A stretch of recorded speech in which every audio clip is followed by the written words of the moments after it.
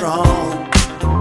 If we start as friends, build it up again. Maybe we can make it through longer lasting.